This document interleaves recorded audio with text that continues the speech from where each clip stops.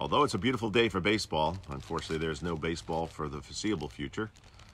Uh, but in the meantime, between the eating, drinking, and every bit of cleaning that you can do around a house and, and other things, you start organizing different things. And under the heading of baseball, decided to just go back into a closet and kind of walk through. I'm going to break this up into a number of different posts, but uh, it's all about uh, autographs, autograph baseballs, and maybe on uh, magazines and things of that nature. But basically, uh, have a little basket here, and I understand that uh, I'm going to need to be able to, uh, you know, put these in better casing. But here's some autograph baseballs, and we're going to have uh, a few different blocks of time. But this is post number one. But uh, Joe Torre baseball.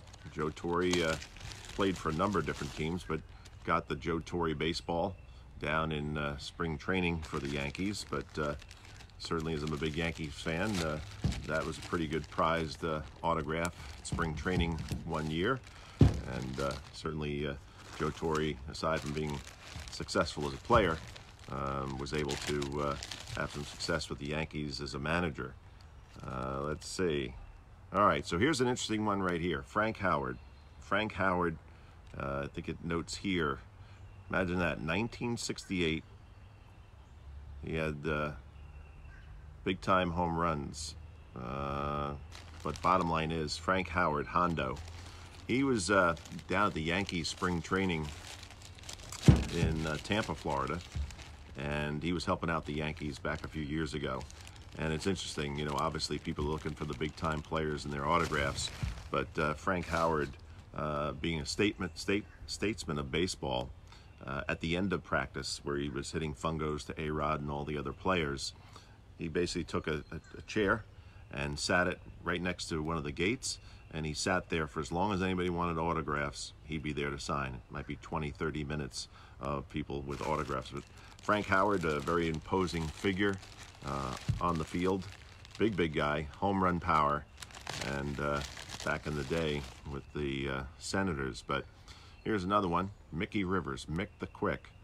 Um, called Mick the Quick, played for the Yankees, and as much as you call Mickey Rivers Mick the Quick, if you really try to pull up some videos regarding Mickey Rivers, uh, you'd wonder how he could, you know, run as fast as he could, nevertheless walk, because the way he walked was kind of, uh, it looked like he uh, had arthritis at a young age. But Mickey Rivers, uh, that was in the parking lot of spring training down in uh, Tampa. But Mickey Rivers, a, a nice outfielder for the Yankees, He's playing center field, great wheels and all that kind of good stuff. Let's see what else we have here. We got, I think, I about 60, 70 baseballs. Uh, here's another Frank Howard one. Uh, again, a couple different days of going to spring training. There's a practice facility next to uh, Steinbrenner Field at Yank uh, down in spring training, and uh, that's where we got that one. Here's uh, Hall of Fame ball, 2008, Goose Gossage, and um, he was one of the originals, certainly in later years, fair enough, but in later years, uh, Goose Gossage pitching for the Yankees, big time uh, reliever, and, and got it done for a number of years and was able to get into the Hall of Fame. Uh, and let's see what we have here. All right, keep keep the baseballs coming. Got a whole box full of them. All right, Chien-Ming Wang. So Chien-Ming Wang was a pretty good uh, pitcher for the Yankees, but unfortunately, uh, Chien-Ming Wang uh, had some arm difficulties. But look at that signature pretty cool. Uh, Chien-Ming Wang, right-handed pitcher.